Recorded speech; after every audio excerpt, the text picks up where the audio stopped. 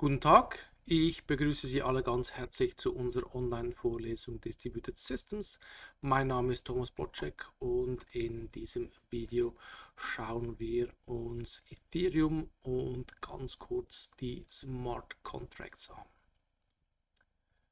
Das Ziel dieser Vorlesung ist, dass ihr wisst, was oder wie eine 51% Attack funktioniert, was die Basiskonzepte von Ethereum sind, wie das mit dem Gas funktioniert, den Smart Contracts, ähm, Account Base versus Unspent Transaction Outputs, kurz UTXOs und was ich als Web 3 bezeichne.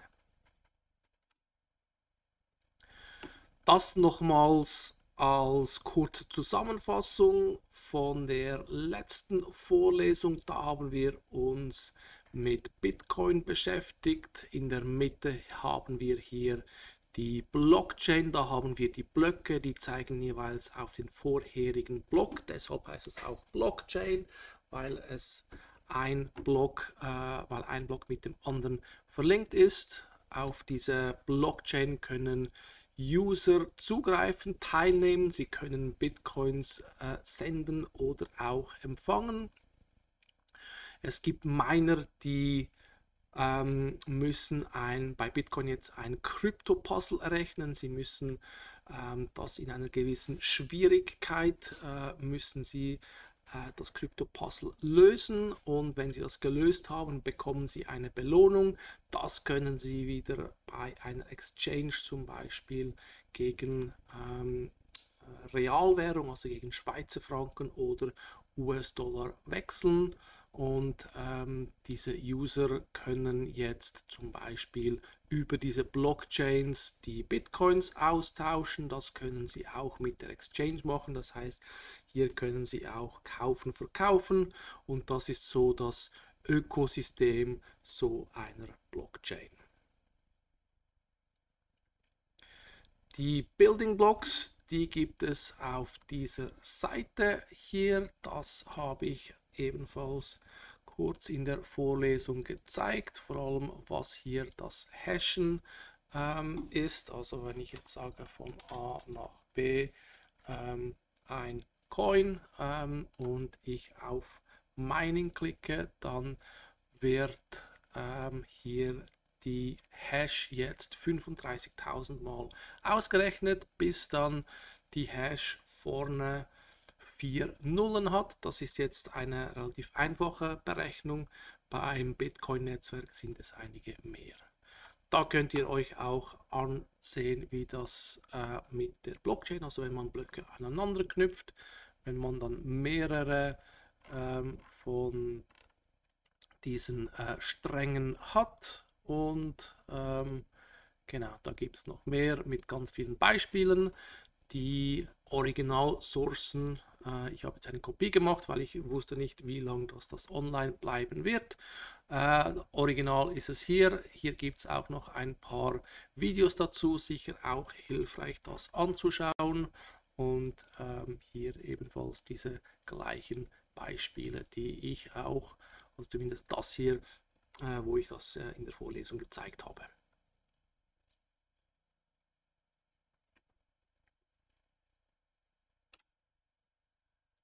So, dann kommen wir zur 51% Attacke. Und zwar ist das ein Angriff, wenn man 51% der ähm, Hashing oder der Mining Power hat. Das kann jetzt bei Proof of Work der Fall sein, kann auch bei Proof of Stake sein. Proof of Stake, wenn man zum Beispiel, äh, äh, zum Beispiel beweisen kann, dass man jetzt mehr als 51% der Assets ähm, hält, dann kann man ebenfalls so eine 51% Attacke ausführen. Das ist eigentlich nichts Neues. Das hat auch Satoshi Nakamoto äh, bereits beschrieben in seinem Paper. Ähm, das hat er 2008 veröffentlicht. Ähm, und hier steht drin, ähm, finde ich es da. If a majority of CPU power is controlled by honest nodes, the honest chain will grow the fastest and outpace any competing chains. Das heißt, wenn das eben nicht der Fall ist, dann wird dieser Angreifer den längsten, äh, die längste Blöcke, die Blockkette haben und dementsprechend kann er dann Transaktionen verschwinden lassen. Und wie das funktioniert, das schauen wir uns an. Ähm, es funktioniert so, dass ähm, man ein Double Spend ausführen kann und dann die Transaktion wieder rückgängig machen kann. Und hier ein Beispiel, wir haben jetzt ähm, einen Block, da haben wir Transaktionen von A nach B, da werden 10 Coins überwiesen, von E nach H 15 Coins. Es wird hier das Krypto-Puzzle ausgerechnet und dieser Block wird publiziert. Da ist noch gar nichts faul dabei. Und ähm, jetzt haben wir hier äh, X, äh, die Exchange, F, derjenige, der das System dann angreifen will und F schickt nun an X 15 Coins. Das wird wieder normal ähm, gemeint. Das heißt, hier wird ein Proof of Work gefunden und es wird dann an den vorherigen Block angehängt.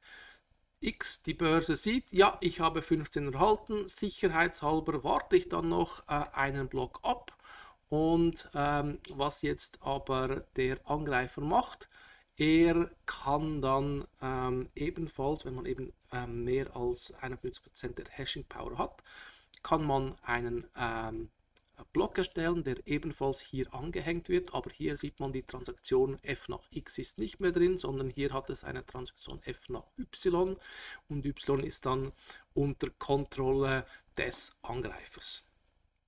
Dieser Block wird aber noch nicht veröffentlicht, das wird jetzt insgeheim gemeint. Ähm, da oben geht es weiter, als wäre nichts passiert. Jetzt gibt es einen zweiten Block ähm, und ähm, die Börse X sieht jetzt, ah, da hat es einen Block gegeben, ähm, das ist mir genug sicher. Ich zahle jetzt diese 15 Coins ähm, der, äh, dem Peer F nun aus und äh, mache zum Beispiel eine Banküberweisung. Der Angreifer meint ebenfalls einen weiteren Block und weil er eben 51% der Hashing Power hat, kann er mehr Blöcke meinen. Das heißt, er hat bereits drei. Und was dann gemacht wird, ist, es wird diese Kette gebroadcastet. Ähm, jetzt wird es veröffentlicht und dann sehen alle, ah, da ist ja die längere Chain.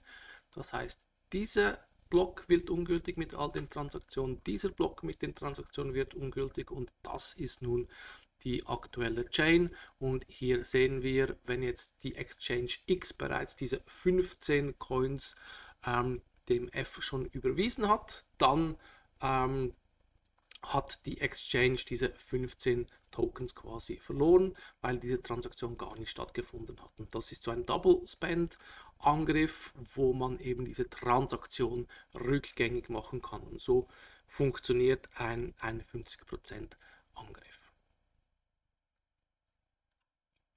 Noch zu den Kosten. Es gibt eine interessante Webseite ähm, und zwar wie teuer eine einstündiger Angriff, ein Doppelspend ähm, Angriff oder eine 51% äh, Angriff ist. Und zwar kann man Hashing Power kaufen bei NiceHash. Und das ist eine Seite, dort kann man diese Hashing Power kaufen oder aber auch wieder verkaufen. Wenn man zum Beispiel jetzt eine Mining-Infrastruktur hat, kann man sie hier zur Verfügung stellen und derjenige, der Hashing Power braucht, kann diese Hashing Power kaufen. Und auf Basis von dem ähm, berechnet diese Seite, wie teuer eine einstündige 51% Attacke ist. Bei Bitcoin und Ethereum ist es relativ teuer, das kostet hier eine Million ungefähr. Ähm, ob die Zahlen genau stimmen oder ob sie höher sind, das habe ich jetzt nicht überprüft. Aber wenn man mal weiter runter geht, hier bei den Coins, die nicht so bekannt sind, ähm, da sehen wir dann, äh, wir sind bei ungefähr 16 Dollar. Das heißt, so eine 51% Angriff, der kann relativ günstig sein für unbekannte Blockchains.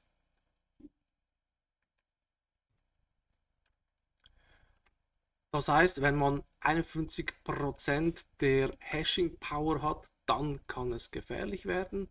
Das kann auch in Pools passieren. Also wenn man jetzt ähm, bei so einer Blockchain Hashing Power bereitstellen will, dann macht man das in der Regel mit Pools, weil alleine die Wahrscheinlichkeit, dass man da ein Krypto-Puzzle lösen kann, ist relativ gering. Deshalb schließt man sich zu Pools zusammen. Und äh, hier sieht man auch schon, ähm, dass die Pools eine relativ große Hashing Power haben. Gut, das ist unknown, aber zum Beispiel äh, die Pools Poolin via BTC, F2 Pool und N-Pool zusammen, die haben ein bisschen mehr als 51% und wenn die sich zusammenschließen würden, dann könnten sie so eine 51% Attacke ähm, auch durchführen. Wie gesagt, Solo Mining lohnt sich fast nicht mehr, es sei denn, man hat eine gigantische Farm. Ähm, so eine kleine Form, wenn man da mitmachen möchte, muss man in einem Pool mitmachen, sonst ähm, kriegt man kein äh, Crypto-Puzzle gelöst. Solche 51% Angriffe, die sind auch nicht sehr ähm, unhäufig, das heißt, sie passieren, äh, es wird auch immer wieder darüber berichtet. Ähm, zuletzt hier, das war letztes Jahr, 7. August 21 und zwar Bitcoin Satoshi Vision. Das ist ein Fork von Bitcoin. Dort gab es drei 51% Angriffen, äh, wo darüber berichtet worden ist, wie viele Transaktionen jetzt in diesem Double Spend Angriff ähm, double spendet worden ist oder wie viele Coins double spendet äh, worden sind. Das steht jetzt hier nicht drin. Bei anderen Angriffen steht es jeweils drin. Ähm, das heißt, hier muss dann auch immer noch die betroffene Entität, äh, meistens ein Exchange, dann auch berichten, was sie oder wie viel sie bereits ausgezahlt hat. Und ähm, das ist in diesem Fall äh, hier äh, nicht ersichtlich. Dann bei Ethereum Classic, ähm, dort gab es ebenfalls ein paar Zwischenfälle. Und ähm, es, hier ist auch schon der dritte äh, in diesem Monat, das war im August 2020. Dort wurden auch äh, mindestens 1,1 Millionen Ethers dann auch gestohlen oder äh, gedoppelspendet. Das heißt, sie wurden dann eben in einer Transaktion wurden sie gebroadcastet, das wurde dann wieder rückgängig gemacht, das Geld wurde aber schon wieder ausbezahlt und so konnte man mit einer Double Spend ähm, Attacke mit einer 51% Attacke äh, dieses Geld erbeuten. Auch DeFi-Plattformen betrifft es. Das war ebenfalls im Jahr 2020, im April 2020 und hier wurden Stablecoins im Wert von 6,7 Millionen Dollar erstellt. Und ähm, ebenfalls 2020, ähm, da wurde das Grin-Netzwerk angegriffen. Ähm, ebenfalls eine 51% Angriff, das heißt eben diese Angriffe, die ähm, sind oder waren zumindest relativ häufig. Der letzte große 2021 und ähm, im 22 habe ich eigentlich nichts mehr über diese 51% Angriffe gehört. Äh, da gab es diese großen DeFi-Hacks, wahrscheinlich sind die lukrativer als solche 51% Angriffe. In der letzten Vorlesung haben wir uns mit Bitcoin beschäftigt. In dieser Vorlesung werden wir uns mit Ethereum beschäftigen.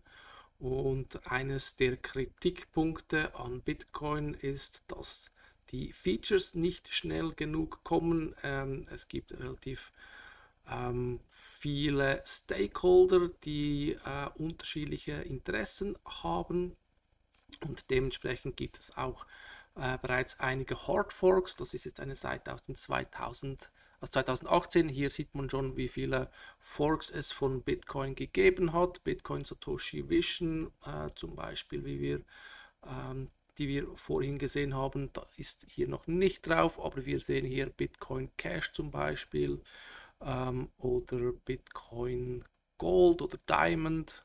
Das sind alles Forks, wo die Community gesagt hat, hey, nein, etwas passt uns nicht, wir machen einen neuen Fork und äh, implementieren es anders.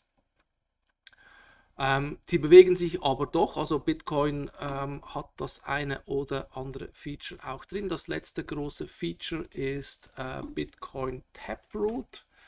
Das ist äh, Bitcoin Taproot. Das ist eine Erweiterung, wie man die Contracts noch effizienter gestalten äh, soll, sodass dann die ähm, Scripts äh, nur das beinhalten, also nur das Nötige beinhalten um die ähm, Skriptgröße möglichst kompakt zu halten.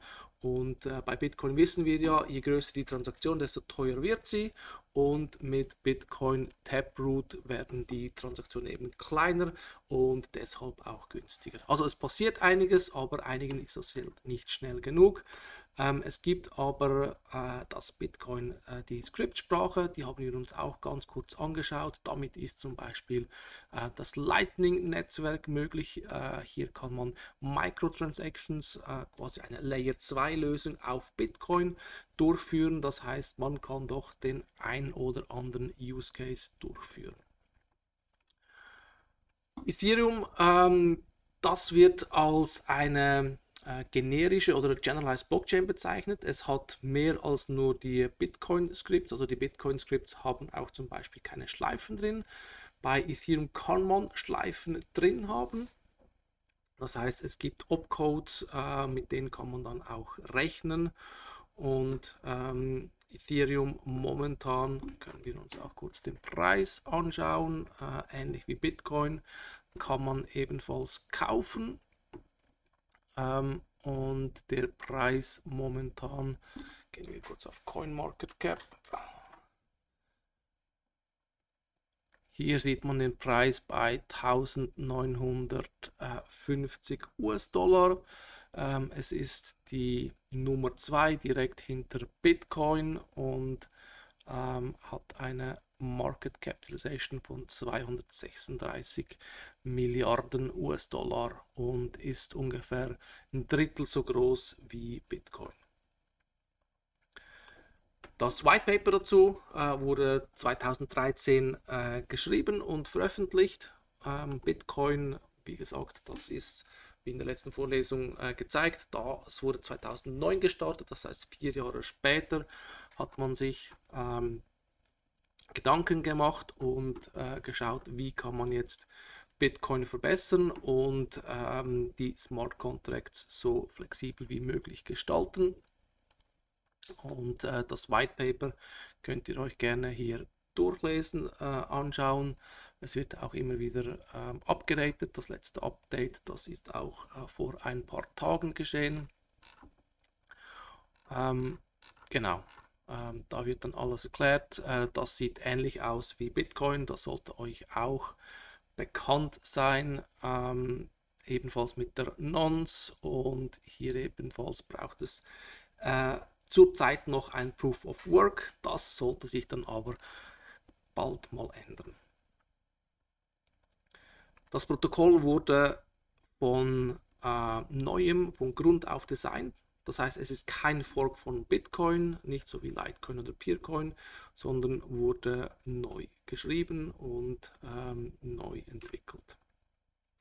Der Initiator oder die Initiatoren sind auch bekannt. Es gibt eine Ethereum Foundation, die ist im Zug.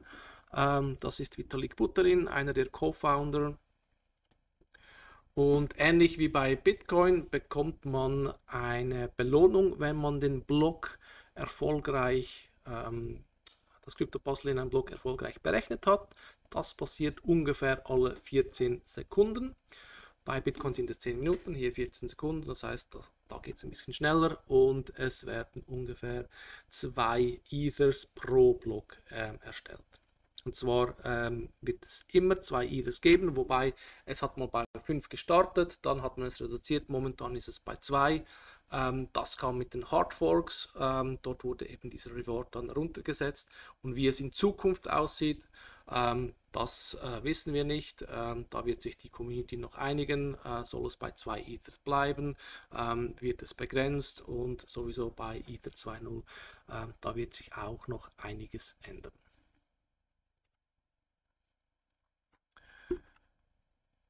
Ethereum wurde 2015, ähm, das war der letzte Proof of Concept, wurde ähm, diese Version ähm, released. Und ähm, die erste Version, die man quasi öffentlich benutzen konnte, die gab es dann ein paar Monate später, und zwar am 30.07. Hier ging das Main Public Network live. Das war vor sieben Jahren, das heißt, Ethereum ist mittlerweile auch schon sieben Jahre alt. Und ähm, da gab es dann zwischen ähm, der ersten Version und jetzt gab es dann ebenfalls noch diverse Zwischenversionen oder respektive Upgrades, also Homestead. Dann kam Byzantinum. Hier hat man den Reward von 5 Ethers auf 3 Ethers gekürzt, dann bei Konstantinopel von 3 Ethers auf 2 Ethers. Da hat man dann noch Bitshifting eingeführt. Ähm, das war dann auch sehr hilfreich. Ähm, bei äh, der Istanbul-Version hat man die Gaskosten geändert, um äh, gegen Denial of Service Angriffe gerüstet zu sein. Ähm, hier gab es nur eine äh, Difficulty Bomb Delay, da werde ich noch später ebenfalls darauf eingehen, was das ist. Ähm, die Gaskosten wurden beim Berlin ähm, Hard Fork geändert und bei der letzten äh, beim letzten Hardfork, äh, beim London Hardfork, dort wurde die Blockgröße dynamisch gestaltet und ebenfalls wie das Gas berechnet wird, das wurde ebenfalls äh, neu, ähm, ähm, äh, wurde komplett äh, erneuert. Und ähm, in der zukünftigen Ethereum 2.0, wobei es heißt nicht mehr 2.0, ähm, dort wird es dann Proof of Stake geben, nicht mehr Proof of Work und es kommen dann sicher noch andere weitere Features dazu. Ähm, was sicher auch wichtig ist, ist die ähm, Skalierung. Äh, auch hier, wenn man jetzt äh, ins, äh, ins Ethereum-Netzwerk äh, mit einem Full Node einsteigt, dann muss man alle Transaktionen seit dem Beginn, also seit 2015, äh, seit dem 30.07.2015, hat man dann alle Transaktionen mit einem Full Node und ähm, das steigt dann ebenfalls je mehr Transaktionen kommen, desto größer oder desto mehr Festplattenspeicher braucht es. Und hier schaut man auch, dass man das äh, besser skalieren kann. Eine gute Übersicht über die Statistiken gibt es hier auf Etherchains. Da hat man eine sehr gute Auswahl an interessanten Grafiken, ähm, was der Preis ist in US-Dollar, wie viele Transaktionen pro Tag durchs Netzwerk gehen, ähm, wie viel Gas verbraucht wird, äh, was der Mining Reward ist. Also da findet man sehr viele Informationen. Bezüglich dem Preis hat es eine ähnliche Entwicklung wie Bitcoin durchgemacht. Das ist jetzt 2016, 2017 hat es dann äh, bereits so ausgesehen. Hier sieht man, wie es 2016, dass eben dieser Ausschlag eigentlich ganz klein gewesen ist. Und mittlerweile ähm, ist, das ist eine Grafik aus, äh, aus 2021. Mittlerweile sieht es auch schon ein bisschen anders aus. Das heißt, der Preis ist wieder gesunken auf ungefähr 1900, äh, fast 2000. Das ist der momentane Preis. Aber äh, um den aktuellen Preis uns äh, anzusehen, können wir auch hier nachschauen.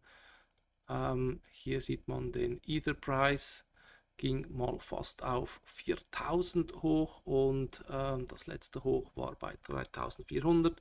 Momentan ist es eher auf dem absteigenden Ast und irgendwo bei 1900 hier.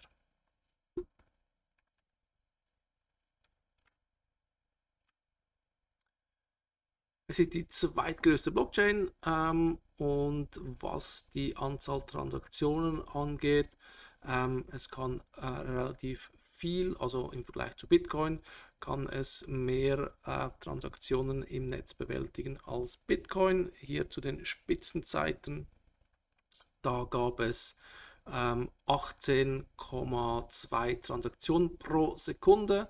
Das ist relativ viel und ähm, heute, wenn wir uns die Grafik anschauen, haben wir ungefähr, was sind das, ähm, eine Million, ein bisschen mehr als eine Million Transaktionen pro Tag. Das ist natürlich gegenüber einem Visa-Netzwerk oder einem Bankensystem ist das nichts, aber ähm, dennoch, wenn man jetzt weitere Lösungen sich anschaut, wie die Layer 2 Solutions, dann äh, kann man doch damit einige Use Cases abdecken. Bezüglich den Node Counts, da bin ich nicht ganz schlau draus geworden. Ähm, die haben auch abgenommen. Ähm, und zwar waren es, oder sind es dann um die 2.000 bis 3.000 und dann plötzlich fallen sie unter 1.000, dann steigen sie wieder, dann sinken sie wieder. Diese Grafik äh, scheint mir nicht akkurat zu sein. Das heißt, was jetzt die genauen Zahlen sind, äh, kann ich jetzt so noch nicht sagen. Ähm, könnte sein, dass es 3000 sind, könnte sein, dass es mehr ist, könnte sein, dass es auch weniger ist. Bezüglich der Blockgröße, ähm, da sieht man auch schon äh, das Problem. Die Größe des Blockes nimmt auch immer zu. Das heißt, ähm, es kommen nicht nur ständig neue Transaktionen, sondern auch mehr Transaktionen. Die Blöcke werden größer und das skaliert noch weniger. Und auch wenn wir uns äh, anschauen, wie viele Accounts das es gibt, wo ein, ähm, also die Accounts, die ähm, auf denen entweder ein Smart Contract gespeichert ist oder die Fonds drauf haben, dort geht man dann schon Richtung 200 Millionen. Das heißt, es gibt bereits ungefähr oder fast 200 Millionen Accounts im Ethereum-System.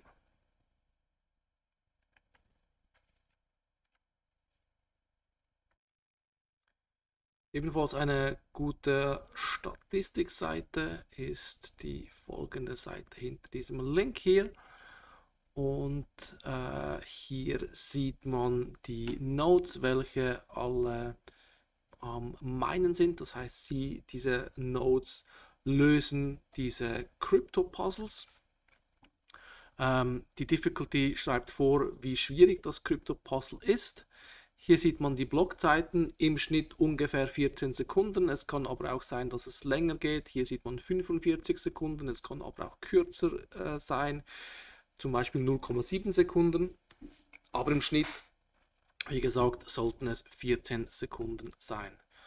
Und äh, hier sieht man äh, das Gas Limit, da sind wir ungefähr bei 30 Millionen. Das heißt, ähm, da werde ich noch später darauf zukommen, wie diese Transaktionen äh, mit dem Gas, was es auf sich hat. Ähm, das beschreibt, wie viele Transaktionen oder welche Arten oder wie kompliziert dürfen die Transaktionen sein, die hier ausgeführt werden.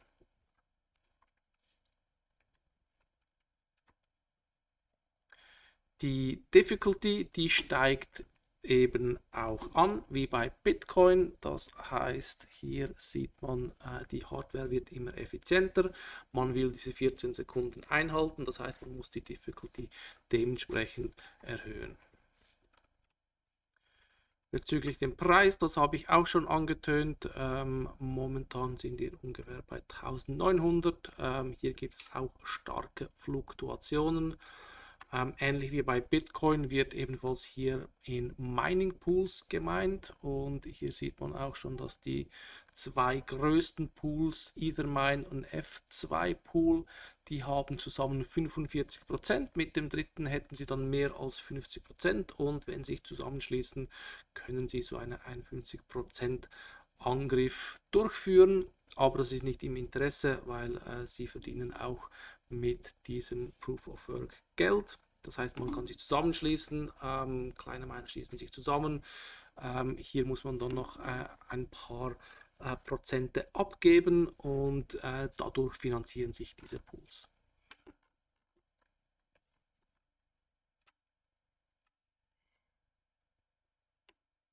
Genau, das ist eine andere Ansicht. Ähm, das ist äh, die Poolverteilung auf Etherscan, aber auch hier, das ist je nachdem, ob man jetzt einen äh, ein Wochen Snapshot oder einen sieben Tagen Snapshot nimmt, sieht das ein bisschen anders aus, aber hier sieht man auch ähm, Ether, Mine und der F2 Pool.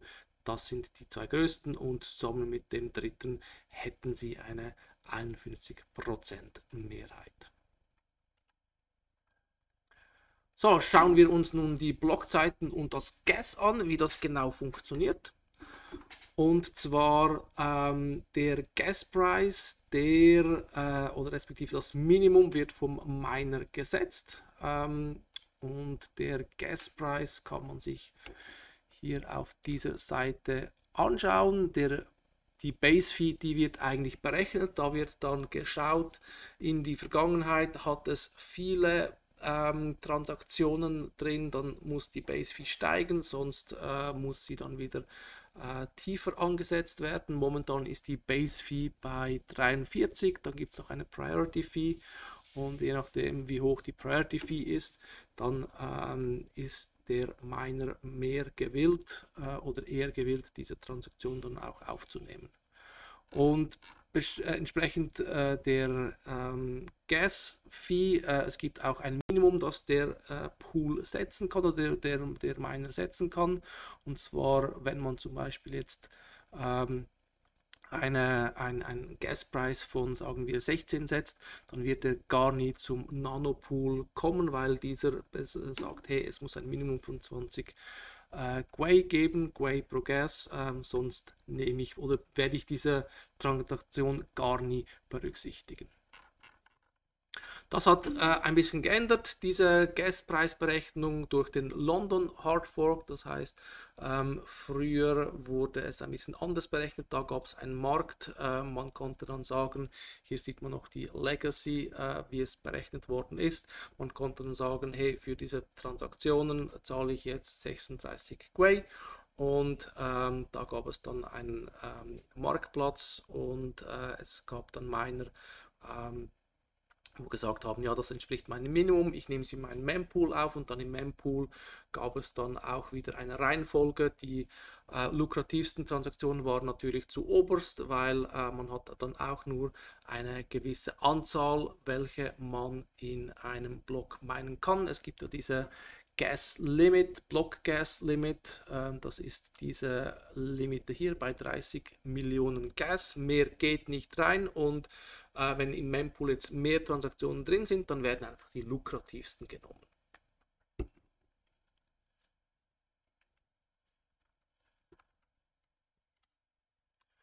Ähm, wenn ich von Gwei spreche, dann ist das eine Untereinheit von ähm, Ethereum, von Ethers. Also ein Ethers, das ist so die Basiswährung. Die kleinste Einheit bei Bitcoin ist ja Satoshi, hier ist es Wei und äh, das sind die Untereinheiten und äh, Gwei ist eben so eine Untereinheit.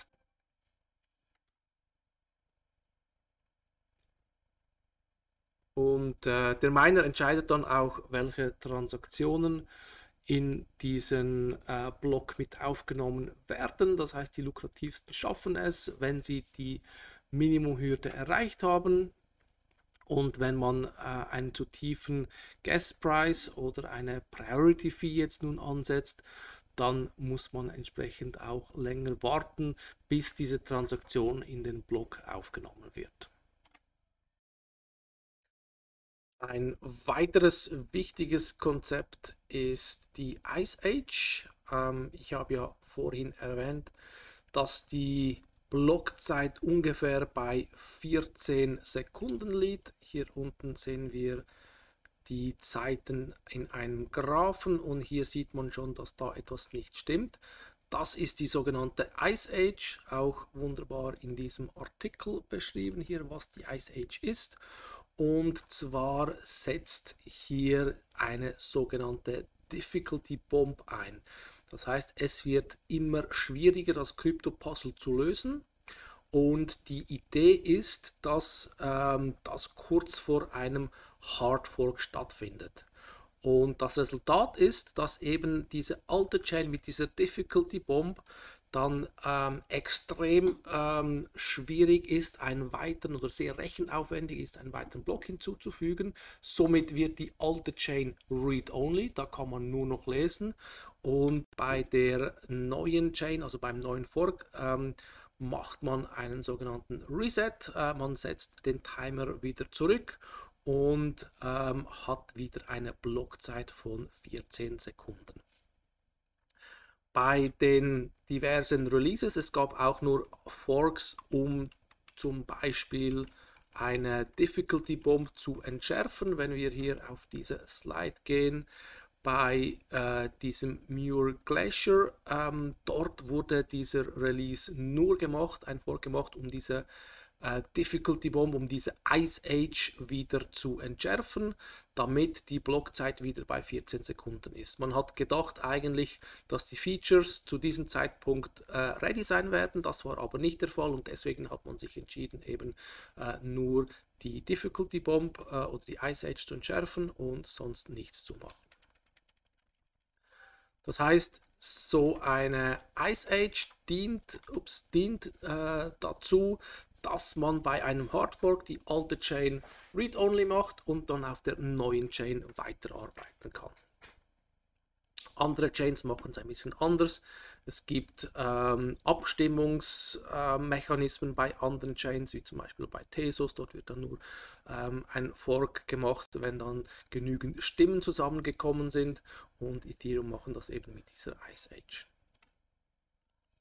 Dann kommen wir zum Gas. Ich habe über die Gaspreise berichtet, ähm, was die Gaspreise, äh, wie sie festgesetzt werden, was es für einen Einfluss hat. Aber ich habe jetzt noch nicht gesagt, was ist überhaupt ein, ein, ein, äh, ein Gas. Und ein Gas ähm, wird oder muss bezahlt werden für eine Operation, welche in einem Smart Contract ausgeführt wird.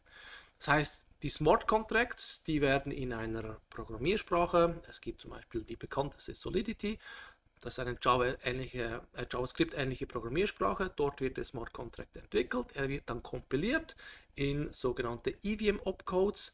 Und ähm, das kann zum Beispiel sein, man addiert hier zwei Zahlen, man multipliziert, dividiert. Und hier sieht man schon, für diese Operationen muss ähm, W Low bezahlt werden und der Preis für Low ist 5 Gas. Das heißt, für eine Multiplikation 5 Gas, für eine Division 5 Gas, für eine Addition, äh, die ist ein bisschen günstiger, very low, da muss man nur 3 Gas bezahlen. Ähm, ganz teuer wird es, wenn man etwas speichern möchte. Da zahlt man 20.000 Gas, das heißt, ähm, Speicherplatz ist sehr, sehr, sehr teuer. Und währenddem, dass dieser Smart Contract ähm, durchgeführt wird, äh, diese Opcodes, äh, Add, Jump, ähm, Vergleiche, Less than, Greater than, dort äh, für jede Operation fällt dann ein gewisser Guess-Wert ähm, an. Also es äh, solange der Kontrakt äh, läuft, also ausgeführt wird, wird dieses Gas kumuliert und am Schluss, wenn der Smart Contract fertig ist, muss dann dieses Gas auch bezahlt werden. Und wir haben gesehen, für äh, Gas dort wird um die Base Fee, das ist um die 40 Gwei pro Gas, das heißt für eine Very Low ähm, Operation, also ähm, für zum Beispiel ein Add oder eine Subtraktion oder ein Vergleich muss ähm, drei Gas bezahlt werden und drei Gas kosten mit einer Base Fee von äh, 40 Gwei kostet das 120 Gwei. Und das akkumuliert sich ähm, und am Schluss muss man alles ähm, diesen akkumulierten Betrag bezahlen.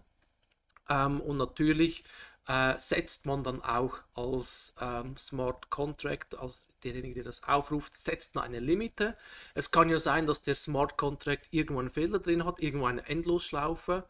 Und wenn man jetzt zu wenig ähm, Ethers, also zu wenig Quay äh, mitgibt, dann äh, bricht diese Ausführung ab und äh, es kommt dann ein Out-of-Gas-Fehler und ähm, der Miner sagt dann, ja, führe ich nicht aus, ähm, das äh, wird nicht funktionieren. Oder äh, respektive er führt es aus, das ganze Gas wird eigentlich, ähm, bekommt der Miner ähm, bis zu diesem Zeitpunkt ähm, äh, führt er es aus, wo das Gas noch reicht, aber der State wird nicht geändert. Das heißt, dieser Contract, alles was ähm, auf diesem Contract verändert worden ist, der ganze State, der wird wieder rückgängig gemacht. Und hier kann ich ein Beispiel nehmen, das heißt, das ist ein Smart Contract, der wurde in Solidity geschrieben, das wurde kompiliert in diese EVM Opcodes und hier sieht man diese Operationen, die gemacht werden. Hier sieht man einen Vergleich lesser than. Äh, das, was im Stack ist, wird dupliziert zum Beispiel. Hier wird auf äh, geprüft, ob die letzten beiden ähm, Stack-Einträge gleich sind. Ähm, und für jede diese Operation, das sieht man hier hinten, Gas Cost, wie teuer das ist und äh, wenn das dann durchgelaufen ist, es kann natürlich hier auch Loops geben, ähm, das heißt, dann wird einfach hier werden diese Gaskosten akkumuliert und dann, äh, wenn es durchgelaufen ist, ähm, dann weiß man, wie viel das man zahlen muss und wenn der ähm, Transaktions, äh, derjenige, der die Transaktion geschrieben hat, genügend ähm, Ethers oder Gwei mitgegeben hat, dann wird auch die Transaktion ausgeführt. Wenn man eben zu wenig mitgibt, kommt out of gas, ähm, der State auf der Chain wird nicht geändert, aber der Miner kriegt das, was er dann äh, ausgerechnet hat.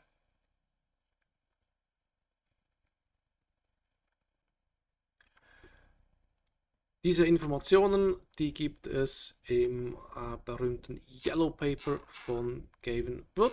Ähm, hier ist beschrieben, spezifiziert, wie das die EVM aufgebaut wird, wie sie äh, rechnet und hier sieht man die aktuellen Preise und ähm, genau, ähm, das ist die Definition. Ähm, es gibt natürlich mehrere Implementationen von äh, der EVM, aber jede muss gleich rechnen und jede EVM-Implementation muss auf das gleiche Resultat kommen.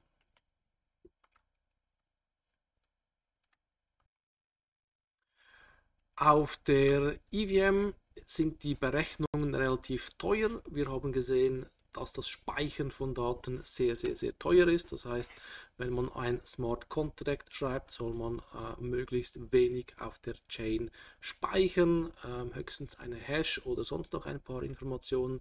Je mehr man speichert, desto teurer wird es und auch die Computation, obwohl das eigentlich günstig aussieht, diese Computation muss eigentlich von jeder ähm, ähm, von jedem Knoten muss diese Berechnung ausgeführt werden. Das heißt, jeder Knoten führt die gleiche Berechnung aus, kommt aufs gleiche Resultat und deswegen äh, kann das auch als teuer äh, angesehen werden. Die Blockchain kann angesehen werden als ein globaler Computer, der eigentlich immer läuft und auch immer alles korrekt ähm, ausrechnet, weil eben jeder Knoten muss auf das gleiche Resultat kommen. Ähm, bei der EVM, äh, das ist auch noch sehr wichtig, äh, im Gegensatz zu Bitcoin, äh, das ist ein Account-basiertes System.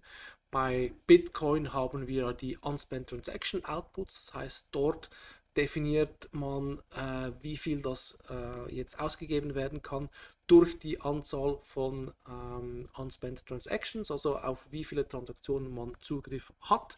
Und bei Ethereum, dort hat man ein Account-basiertes System. Äh, eine gute Übersicht äh, auf dieser Seite, was für Account-Typen das es gibt. Es gibt eigentlich zwei Typen, externally owned Accounts, das heißt, die werden dann von außen können Smart Contracts getriggert werden, aber auch Contracts, ähm, die können oder gelten ebenfalls Accounts und ähm, dort die können ebenfalls Ethers halten. Also beide externally owned und Contracts, die können Ethers halten, aber Transaktionen können nur getriggert werden von einem externally owned Contract. Äh, äh externally owned Account, sorry.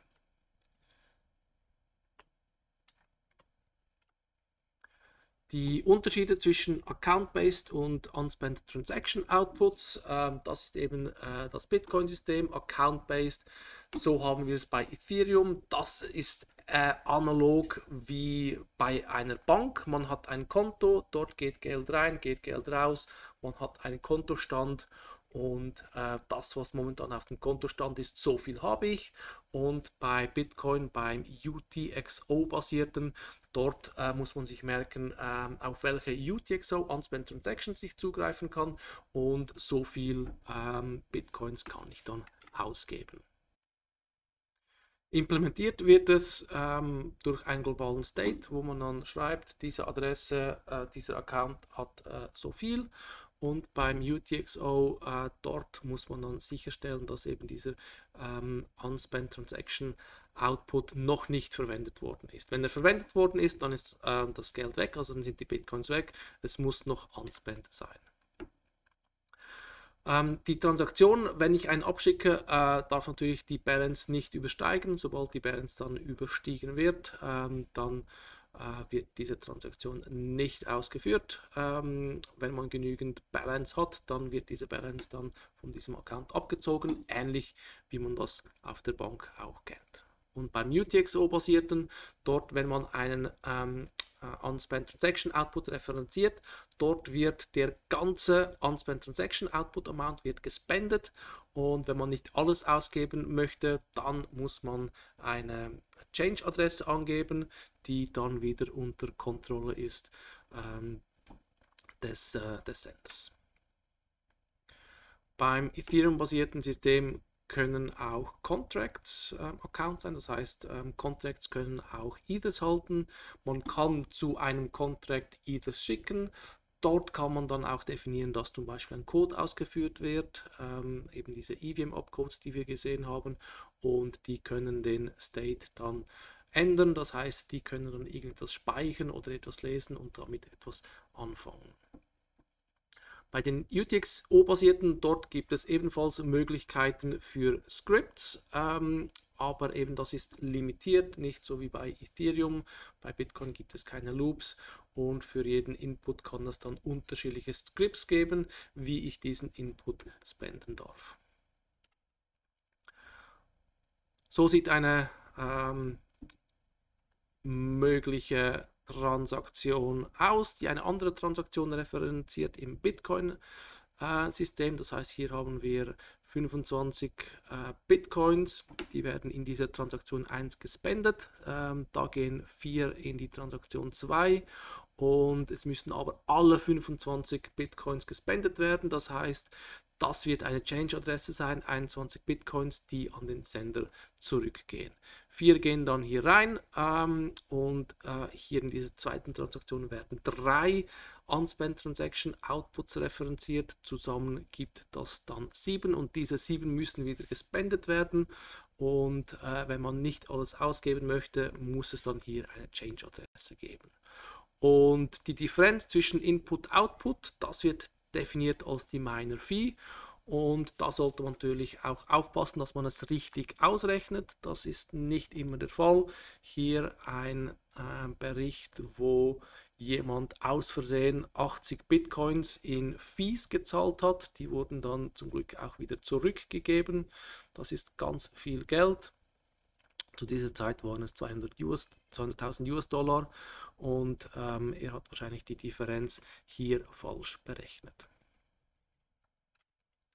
Bei Ethereum sieht das ein bisschen anders aus. Dort hat man die äh, Accounts. Man hat hier zum Beispiel zwei Accounts und hier hat man 25 Ethers, welche man zu diesem Account schickt. Das kann ein External Owned Account sein oder ein Contract sein. Und wenn man jetzt vier rausschickt, dann bleibt in diesem Account bleiben noch 24, äh, 21 Ethers und äh, der Account 2 hat dann, äh, wenn wir hier diese drei Transaktionen haben, hat dann auch wieder sieben Ethers und kann dann zum Beispiel zwei wieder ausgeben und dann bleiben noch fünf Ethers in diesem Account. Das ist also der Unterschied zwischen einem Account-basierten System und hier einem UTXO-basierten System. Ohne jetzt groß noch auf die Details einzugehen, werde ich noch kurz zeigen, wie man mit Smart Contracts interagieren kann. Das kann man zum Beispiel mit einem Web3 Provider Metamask. Ähm, da habe ich auch wieder in den News Artikel gezeigt, welche ähm, Web3 äh, mehr in das rein interpretieren. Also für mich ist es eine Verbindung Browser-Blockchain und ähm, von dem her ist es für mich einfach ein Tool, äh, das man brauchen kann, wenn man möchte, aber äh, wenn man nicht möchte, dann muss man es nicht brauchen. Ähm, so viel eben zu dieser politischen Diskussion. Ähm, mit Metamask kann man seine ähm, Schlüssel verwalten, das heißt, ähm, dort äh, kann man seine externally owned Accounts verwalten. Hier ein Beispiel, ich habe äh, Metamask bereits installiert und da habe ich jetzt hier auf dem Ringby-Netzwerk habe ich hier meinen Account. Ähm, Metamask verwaltet meine Schlüssel und auf diesem Testnetzwerk habe ich äh, fast 60 Ethers drauf. Damit kann ich dann herumspielen. Ähm, damit kann ich Contracts aufrufen oder Contracts äh, deployen. Und dieses Plugin hier, das gibt es für Chrome und für Firefox. Das ermöglicht, dass eine Webseite über ähm, Metamask, über diesen Web3-Provider auf eine Blockchain zugreifen kann. Das gibt es für andere Chains auch. Ähm, es gibt für diverse Blockchains gibt es ebenfalls, äh, ebenfalls solche Provider. Ähm, wir werden uns in der Vorlesung auf Ethereum beschränken, äh, das ebenfalls im Herbstsemester, ähm, wo wir uns vertieft mit Blockchains befassen werden. Eines der Kritikpunkte an Metamask ist, dass es eine zentralisierte Komponente ist. Äh, da wird es wieder politisch, wenn man sagt, Web3 ist dezentral, aber im Prinzip Metamask verwendet Infura. Das ist ein Dienst, welcher so ein Ethereum-Knoten zur Verfügung stellt und äh, Metamask macht eben diese Bridge zwischen ähm, dem Browser-Plugin und äh, so einem Ethereum-Knoten. Entwickelt ähm, wird entweder ähm, in einer IDE, ich bevorzuge die äh, Remix-ID, das ist eine Online-ID, die ist relativ immer up-to-date. Ähm, dort gibt es auch diverse Umgebungen, das heißt, ich kann hier zum Beispiel einen neuen Contract test.sol erstellen, Sol für Solidity. Ähm, hier kann ich nun ähm, Contract äh, Test, das ist JavaScript ähnlich und hier kann ich eine Variable definieren. Und 256a und äh, da kann ich das jetzt kompilieren. Und ähm, man kann nun auch nachschauen, was kompiliert worden ist. Hier sieht man den Bytecode, äh, das sind eben diese Opcodes von ähm, denen ich äh, vorhin ähm, äh, äh, die ich vorhin gezeigt habe, also Push, Push, äh, Store, Call Value, äh, hier wird der ähm, Value auf dem Stack dupliziert. Dafür muss man alles Gas bezahlen. Die Gas-Berechnung, die findet man auch hier unter den Gas Estimates, wie viel das ungefähr kosten wird. Ähm, Execution Cost ist relativ einfach, ähm, aber halt das äh, Deployen ist dann relativ teuer, weil man eben Daten speichern muss. Ähm, und das wird dann, genau, das ist der Code, der wird dann auf der Blockchain gespeichert ähm, als Transaktion. Die wird dann auf jedem Ethereum-Knoten äh, gespeichert, äh, wird dann auch, wenn man eine Transaktion ausführt, wird das dann auch ausgeführt, der State wird dann abgedatet und man muss entsprechend dann Gas zahlen. Das kann ich jetzt nun auch deployen. Äh, und zwar ähm, habe ich hier die Möglichkeit zwischen einer, äh, zwischen einer internen JavaScript-Blockchain, wo dann jede Transaktion eigentlich äh, sofort in einem Block gemeint wird und das ist mehr zum Entwickeln, dass man sieht, äh, dass man ähm, Contract schnell ausführen kann und dass man sieht, wie sich dieser Contract verhält.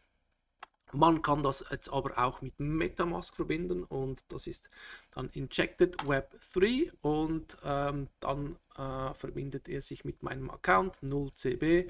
Das ist dieser Account hier 0cb. Ringby ist jetzt ein Testnetzwerk. Es gibt weitere Testnetzwerke wie Girly oder Robston. Robston ist am nächsten zum Mainnet, aber das sind alles Testnetzwerke. Da hat man auch keine richtigen Ethers. Also diese 60 Ethers, ähm, für die musste ich jetzt nichts bezahlen. Das ist Ethers, die man brauchen kann, um, zu, äh, um die Contracts zu testen. Bei Robston, dort gibt es morgen den großen Merge und zwar gibt es ja die Bestrebungen von Proof of Work auf Proof of Stake zu wechseln.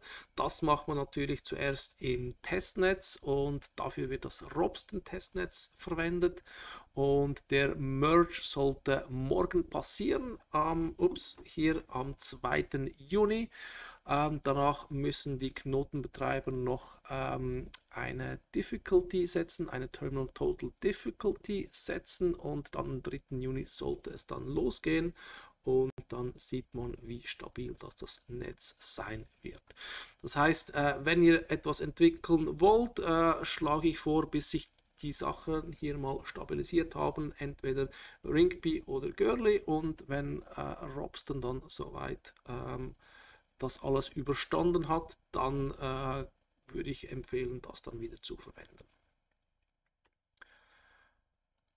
Ringby hat auch einen Blockchain Explorer, ähm, ähnlich wie äh, die anderen Testnetzwerke. Hier kann man dann seine Transaktion sehen welche man gerade deployed hat oder ob man jetzt etwas, eine Transaktion ausgeführt hat. Ähm, das sieht man hier in diesem Testnet Explorer, auch wenn man zum Beispiel zu wenig Gas äh, mitgegeben hat, dann steht eine Fehlermeldung out of gas. Man kann sch äh, schauen, was genau ausgeführt worden ist. Also das ähm, hilft eigentlich äh, enorm, wenn man gerade einen Fehler hat und wissen möchte, wo der Fehler ist. Bei äh, Robston, äh, wie auch bei Girly, kann man auch selber meinen. Das heißt, ähm, man muss natürlich auch dementsprechend eine CPU oder eine GPU haben. Bei Robston reicht es, wenn man eine, GPU, äh, eine CPU hat, äh, weil es sind eben keine richtigen Ethers. Und hier kann man dann seine, ähm, ähm, seine Ethers auch äh, selber meinen. Und bei Ringby, wenn man dort äh, nun ähm, ein äh, paar Ethers haben möchte, kann man das über das Faucet machen. Dort, äh, Faucet ist gerade offline, schade, wenn es dann wieder online ist, kann man hier einen Facebook oder einen Twitter-Tweet absetzen mit der Adresse, wo man dann die Ethers hin übertragen möchte und dann bekommt man dann 18,75 maximal Ethers, die an diese Adresse geschickt werden und das habe ich auch schon ein paar Mal gemacht und deswegen habe ich jetzt fast 60 Ethers, welche ich zum Testen brauchen kann. Schauen wir nun äh, uns kurz ein Beispiel an. Das ist jetzt eher Material dann für das Herbstsemester, wo man dann auch ein Challenge Task bestehen muss, wo man mit einem Smart Contract interagiert. Beim letzten Mal war es eben ein NFT-Markt äh, oder respektive eine Applikation, welche NFTs transferieren kann, Non-Fungible Tokens. Das werden wir uns auch ansehen, ähm, wie man das genau entwickelt, was es genau ist. Und hier jetzt nur als Beispiel, wie man ähm, so ein Contract, wie so ein Contract aussieht und wie man damit interagieren kann. Das heißt, ich starte jetzt äh, ups, da ist die Konsole. Jetzt habe ich sie. Äh, Git, das ist aus dem FS21 und da habe ich nun hier ähm, meinen Code. Ich habe ein Smart Contract, der ist relativ einfach, den kann ich auch kurz zeigen. Das ist dieser hier. Den kann ich natürlich auch in Remix. Das ist hier. Ähm, kann ich das hier einfügen, kompilieren lassen und ähm, dann ähm, könnte ich den auch deployen und zwar deploy ich das jetzt mal ins RingPit-Testnetzwerk, damit man sieht, wie es funktioniert. Der Notary ähm, Contract wurde erfolgreich kompiliert. Jetzt ähm, klicke ich auf Deploy, da kommt mir dann die Meldung, wie viel das es kosten wird. Ähm, ich sage dann, ja, passt. Und äh, ich kann jetzt beobachten auf Etherscan, was mit dieser Transaktion passiert. Ähm, das ist noch alles pending. Da wird, das wird ungefähr 14 oder 15 Sekunden dauern, bis es dann auch auf der Blockchain in einem Block aufgenommen wird. Jetzt sehen wir, ist es in diesem Block aufgenommen und ähm, ich kann mit diesem Contract interagieren. Was ich auch noch machen könnte, theoretisch, ähm, ist jetzt den Smart Contract aufrufen, das heißt das Verify aufrufen oder Store. Das mache ich jetzt aber mit der Applikation. Das heißt, ähm, ich starte hier, äh, ich mache mal npm install, dass ich sicher alle ups, Dependencies habe. Die sollten eigentlich up to date sein, hoffentlich. Und mit ähm, Webpack. Starte ich nun auf Localhost diese Seite. Das läuft soweit. Und jetzt kann ich hier über Localhost. 8080 dürfte das sein kann ich dann auf diese Applikation zugreifen und hier fragt er schon, äh, mit welchem Account äh, soll ich das verbinden und ich verbinde es mit dem ersten Account hier. Connecte es und äh, nun kann ich mit dem Smart Contract interagieren, den ich hier deployed habe, also mit diesen zwei Funktionen Store and Verify. Das mache ich ähm, mit Ethers, das heißt im Package.json habe ich ähm, hier eine Dependency auf Ethers. Ich habe das Ganze mit View gemacht und ähm, dort kann man eigentlich relativ schön sehen, ähm, wie einfach das ist. Und zwar ist hier, äh, rufe ich hier Verify auf, das ist die Methode, die wir hier definiert haben. Verify ähm, ist ein Dokument auf der oder ist der Hash der Dokument in der Blockchain gespeichert und hier oben haben wir ähm, oder hier unten haben wir dann das Store. Hier speichere ich das Dokument, das ich ähm, notarisieren möchte. Und das funktioniert wie folgt. Also ich kann jetzt hier auf dieser Seite kann ich ein Dokument hochladen. Äh, da nehme ich zum Beispiel nehme ich ähm, ein Dokument, hier eine, ein Error-File und äh, da wird es als, äh, der Hash berechnet dieses Files. Es wird geschaut, hey, ist dieser Hash bereits äh, gespeichert in diesem Smart Contract. Ähm, dieses Smart Contract, äh, der ähm, speichert eben, wer das die Hash geschickt hat, was die Hash ist und was der Timestamp ist. Und ich kann das überprüfen, sagen, ähm, wer hat es äh, geschickt und was ist der Hash und zurück kommt der Timestamp. Und wenn der Timestamp 0 ist, dann weiß ich, es ist nichts gespeichert. Wenn der Timestamp irgendwas anderes als 0 ist, dann weiß ich, es wurde gespeichert. Das heißt, hier wurde nichts gespeichert, das gebe ich dann auch aus und ich habe jetzt die Möglichkeit, das zum Speichern. Hier rufe ich dann die Funktion Store auf, da wird auch der State auf der Chain geändert. Das heißt, wenn ich lesen zugreife, kostet mich das nichts. Wenn ich speichern darauf zugreifen möchte, dann kostet mich das was. Wenn ich hier auf Notarize klicke, kommt wieder Metamask und fragt, hey, ähm, das kostet dich dann so viel. Ähm, ich sage ja, passt.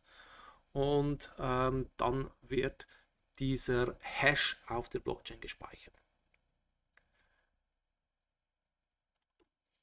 Die Transaction ID, die können wir wieder hier verfolgen.